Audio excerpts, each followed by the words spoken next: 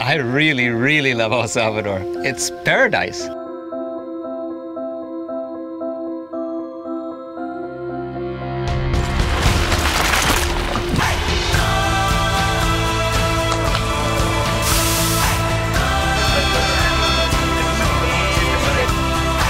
El turismo transforma la vida de la gente